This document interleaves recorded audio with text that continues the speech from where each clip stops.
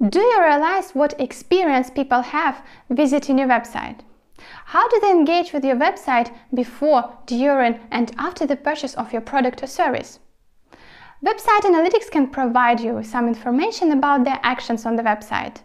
But building a customer journey map is the most effective way to get a comprehensive view of customers' experience. Hey, I'm Lisa from UXPressia and today I will show you how to create a customer journey map for your website. Let's go!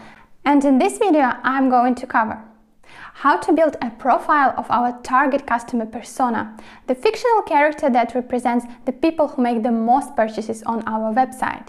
How to outline the main stages of the journey that our persona goes through, like how do they end up filling out the billing form.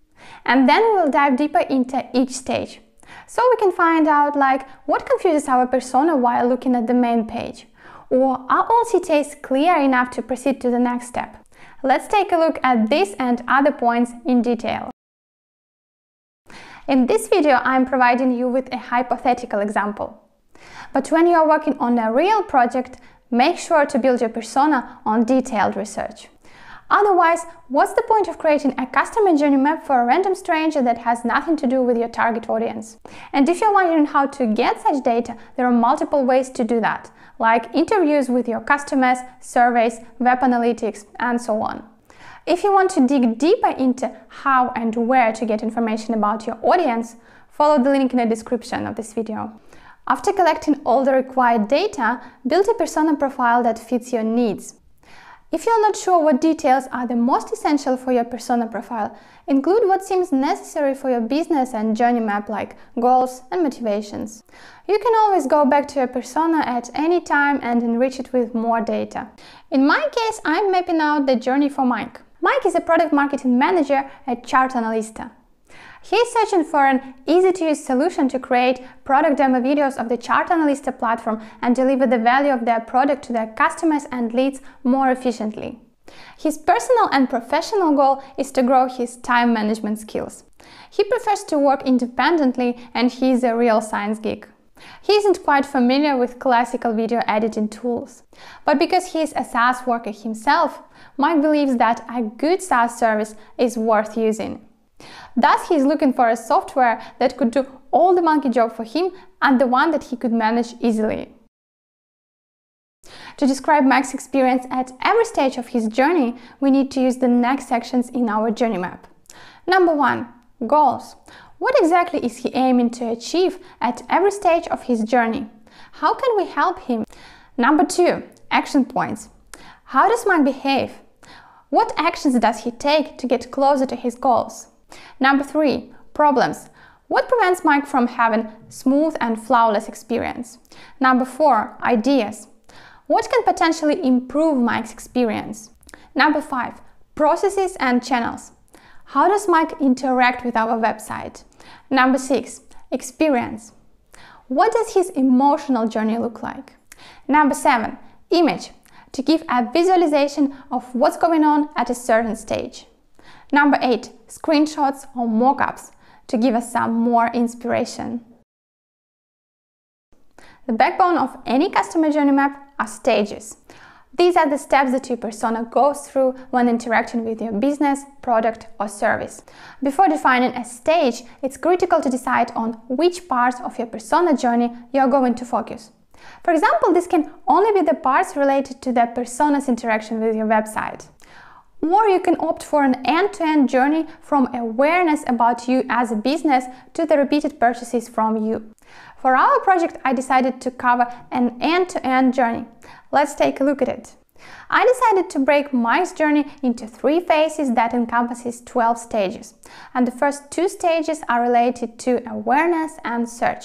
Mike's journey to the website starts when the need arises to create videos easily and fast without the need to acquire video editing tools. Mike could have quickly learned some video editing skills or hire a freelancer, but he decides to use a software solution for that. How did he come up with this decision? Probably he discussed the project with his co-workers and his senior manager recommended him to search for a tool to create demo videos. Mike is excited since he always wanted to give video creation a try. In the processes and channel section, I will mention Mike's colleagues and manager since they have a direct impact on each other's experience. For sure, Mike faces doubts like which software to use since there are so many offers on the internet. And now we are done with describing the first stage. Let's move on to the second one. During the search stage, Mike looks at several video editing solutions, compares them, and consults with colleagues. He gets annoyed by the amount and the variety of options and that it is so hard to find a solution with the desired functionality. For our website, this means that we should definitely leverage advertising campaigns to increase our brand awareness. At this point, we enter the second phase, website navigation before the purchase. During this phase, Mike navigates through different website pages, main page, product tour page, subscription plans, demo requests, and free trial pages. Before finally landing on my website, Mike walks through the main pages of different platforms, compares them, trying to find the most suitable one. But it becomes quite hard to distinguish pros and cons of every tool. Also, it's not very clear whether Mike needs these features or not. That's why in the idea section I make several suggestions on the website's main page design and content.